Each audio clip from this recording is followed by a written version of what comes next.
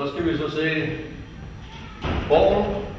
En rigtig fin legesystem til de yngre klasser på skolerne, institutioner. Vi slår nu den her op.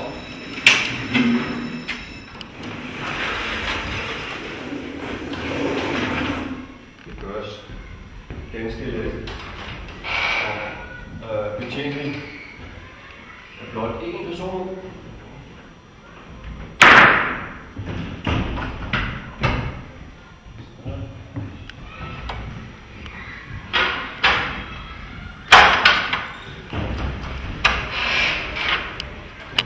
Et redskab, som er rigtig godt at bruge til motorisk udfoldelse med yngre, yngre elever.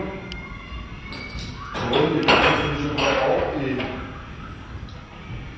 skole, idræts,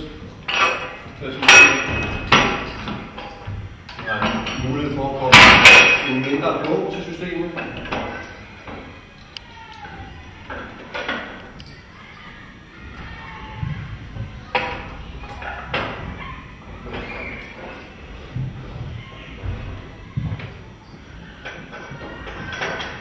På ganske kort tid, så har man et fantastisk redskab der. Motorik. Og klokken er meget ret på det her. Samtidig har vi i salen øh, Torv.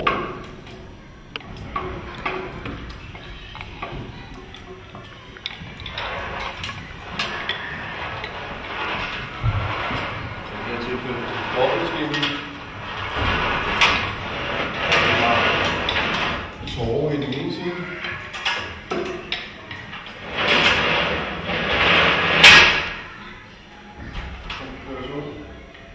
kan så vælge at kombinere det, så man trækker kun tårer ud under, som i det tilfælde også kan få romerske ringe og trapez ud. Så man har begge typer på denne side.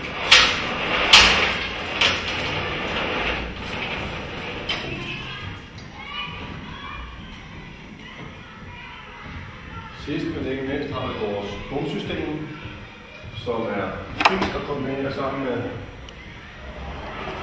med borgen.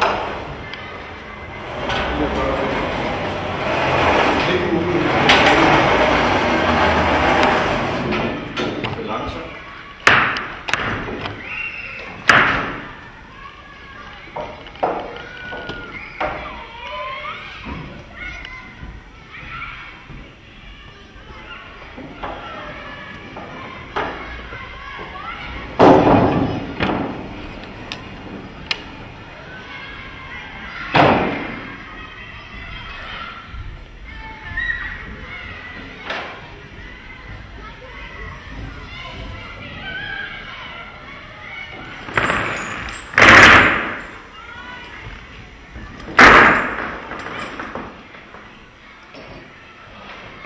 그리 고, 이름 을,